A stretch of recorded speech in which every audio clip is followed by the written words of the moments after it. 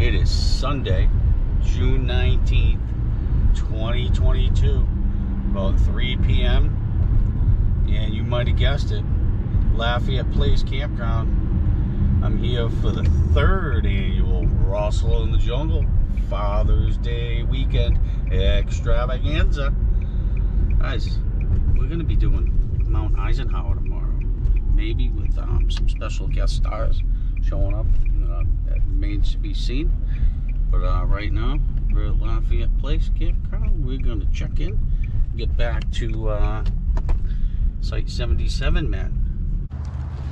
Back at Site 77. Good old faithful 77. It's like, uh, it's only like 55 degrees. It's kind of cold, but uh, let's get it set up. Two hours and 20 minutes later. The tent is up. The canopy's up. The sidewall's up top on top is up.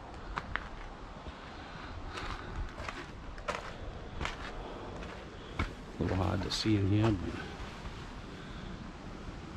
bedroom, bathroom.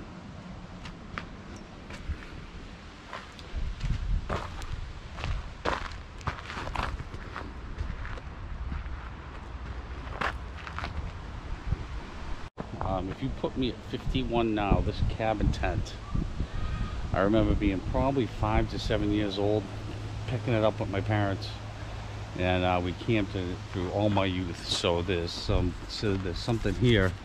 It's a genuine Eureka.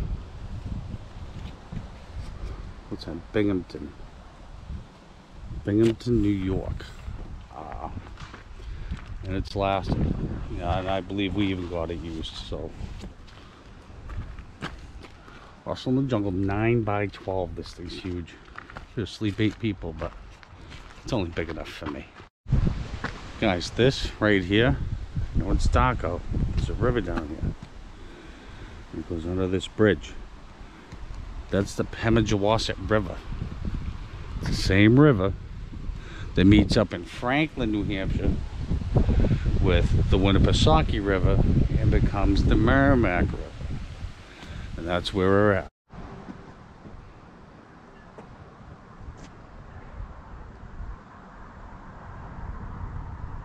God bless America. The Rest of this isn't over till you pin me, George. Got it. Go, go, go.